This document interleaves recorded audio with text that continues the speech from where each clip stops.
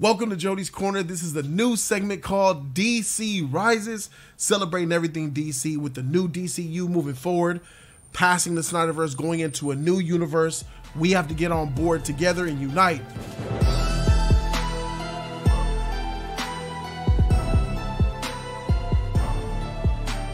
This is going to be a segment that airs every Wednesday talking about the latest news of the week when it comes to DC content. We're going to start things off with CinemaCon 2023.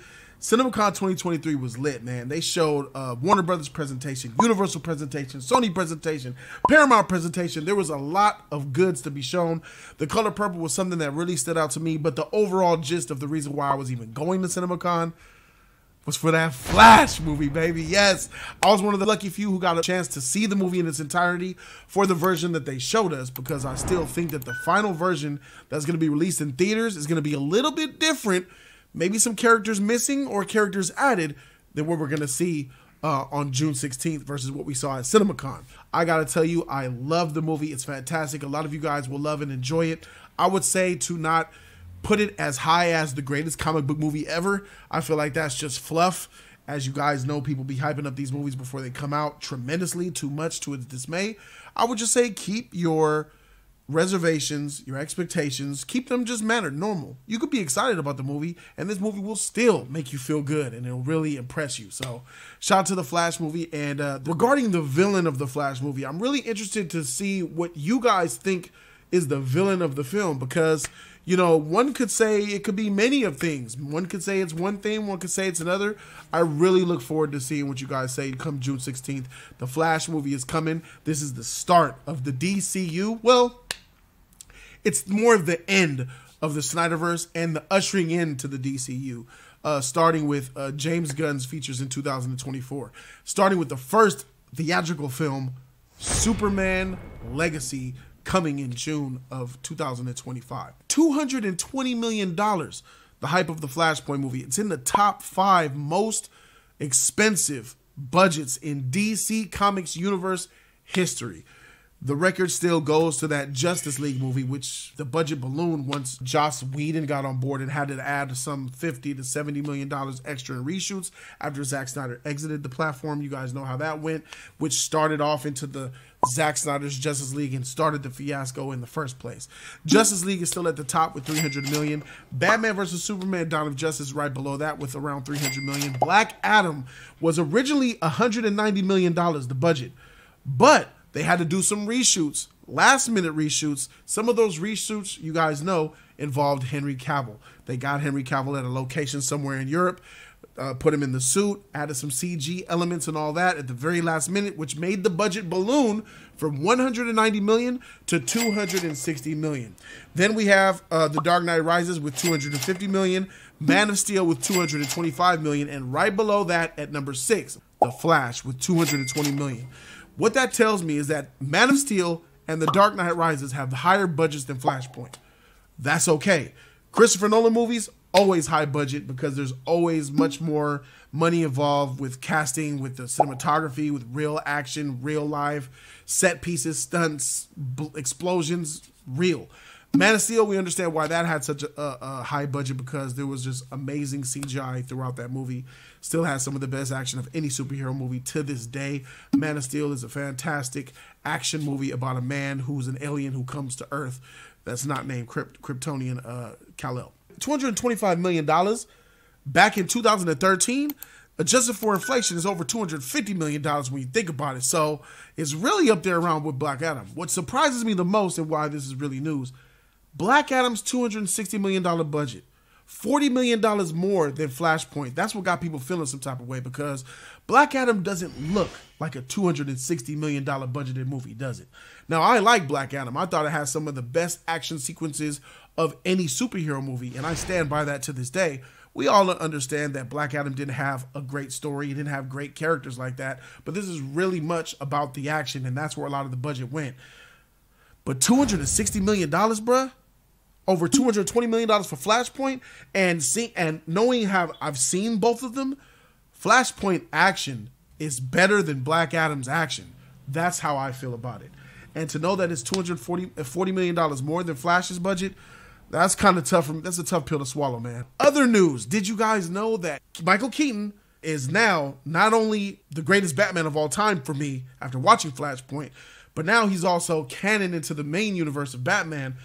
He was in Batman number 135. Yes, ladies and gentlemen, Michael Keaton Batman showed up in one of the alternate universes where I believe Batman was chasing down uh, Red Mask, and he had this uh, time porter teleport multiversal thing, and followed him into a universe.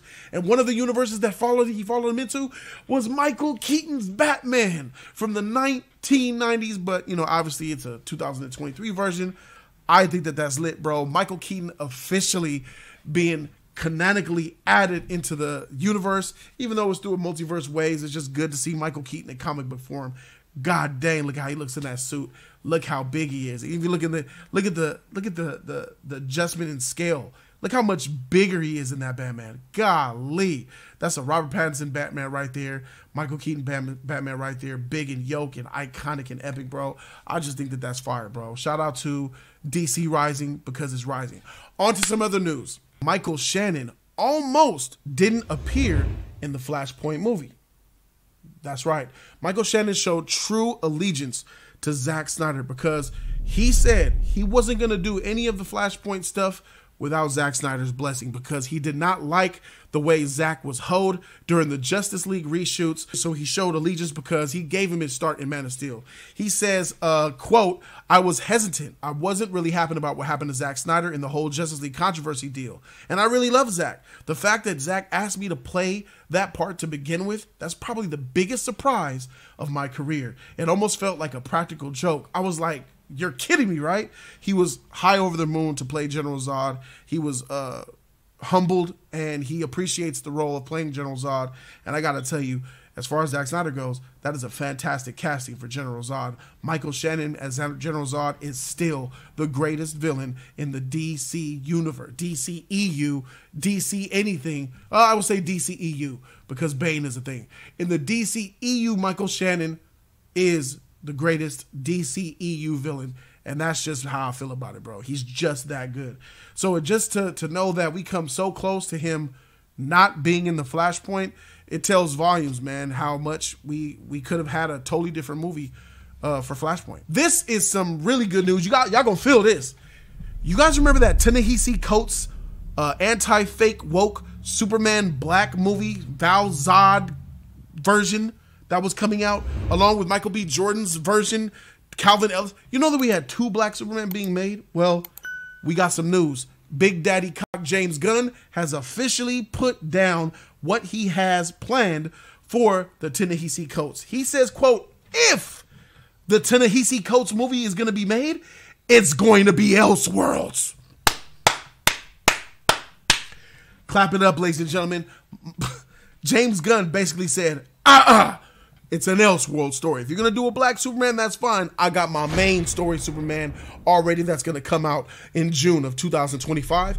If, and he said if another black Superman is gonna be made by Ta-Nehisi Coates or Michael B. Jordan or whoever, you best believe that that bad boy is gonna be Elseworlds like the rest of the stuff. We're not, that tells me that James has a vision and he's sticking to it. We're not gonna have any confusion here. He don't want none of that confusion. You're gonna know first and foremost what is the main DC Prime universe and other stuff that's Elseworld, like the Batman universe, Elseworld, like the Joker, Elseworld, like this Ta-Nehisi Coates.